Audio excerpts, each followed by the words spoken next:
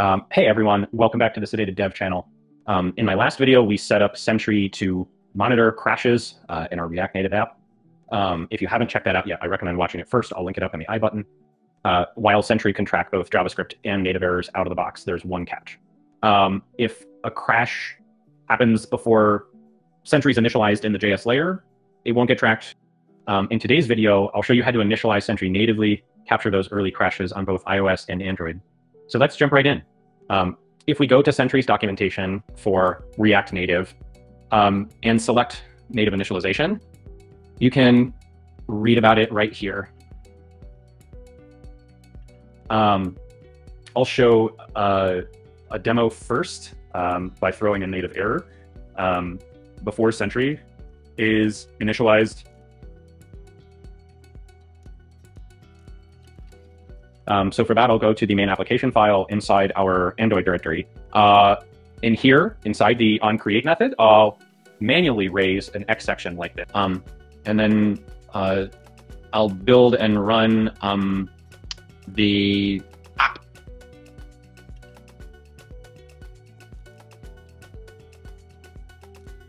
Um, as you can see, the app crashed on um, startup because of the manual error. Um, now, if I go to Sentry dashboard and reload the issues page,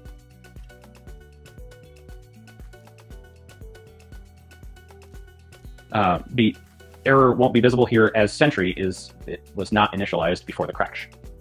Um, so let's start with our native initialization of Sentry. Um, uh, first step is to disable auto initialize native SDK in the JS layer.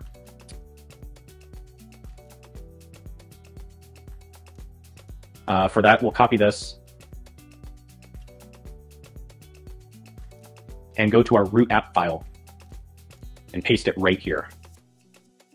Um, next, we have to follow the uh, manual initialization docs of Sentry for individual platform. Uh, first, we'll do it for Android. Um, so we can skip all these stuff um, and come to the bottom of the page. Um, inside the Android configuration section, you have this link to follow manual initialization guide. Click on it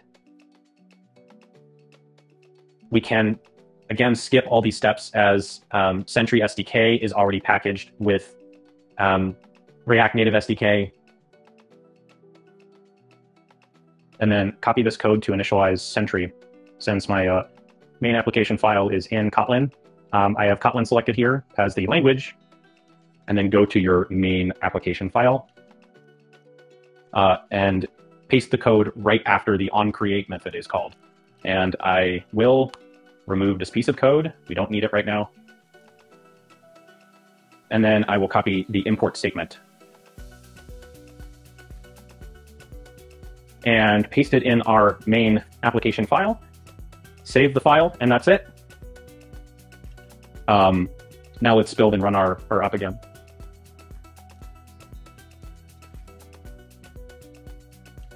Uh, all right, the app crashed on start as expected. Um, let's go to Sentry dashboard again and reload the page. Um, the crash is not yet logged. Let's reload again. Um, as you can see, uh, the crash is logged. Let's check it out. Um, you can check out all the, the crash details here. Uh, now, that's how you initialize Sentry natively in Android. Uh, now let's do the same for iOS. Uh, I have the iOS app running here. I'll first manually raise a native error uh, before app start. Um, for that, let's go to app delegate files.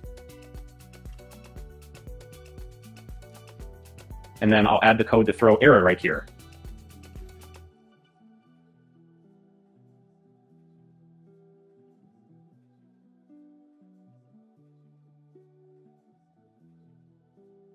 Uh, now let's build and run the app.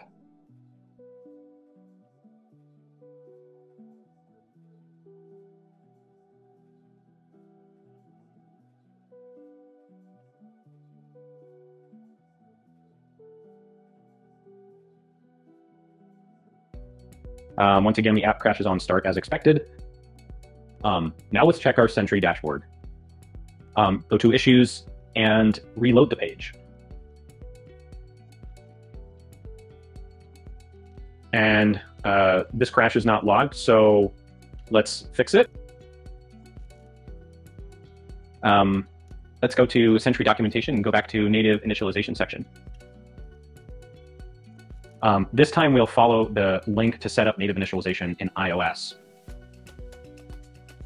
Uh, come down, select Objective C. And I'll copy this code to initialize Sentry.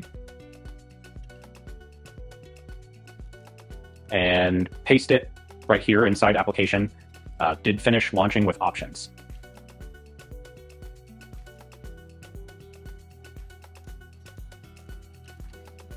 um, and then import Sentry like this.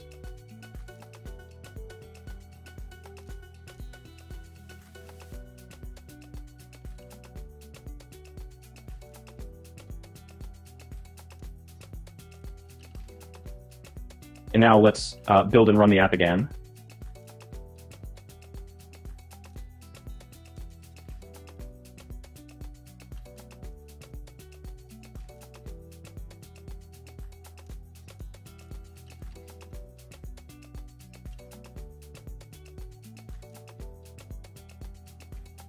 Um, that's the crash. Uh, so let's go to our Sentry dashboard and reload the issues page uh, once again. Um, we can see the error from iOS uh, got logged as expected. Uh, if we we click on it, we can see all the, the details regarding the crash here, and that's it. By initializing Sentry natively, we've ensured that even crashes occurring before the JavaScript code runs are captured. Uh, this gives you full visibility into both native and JavaScript errors uh, throughout the entire app lifecycle. Um, I'll try to come up with more such useful videos. Um, if you guys want to see something specific, do let me know in the comments. Um, if you liked the content, then do like, share, and subscribe. Thank you very much. Uh, it will motivate me to keep making better videos. Um, thanks for tuning in. See you guys in my next video.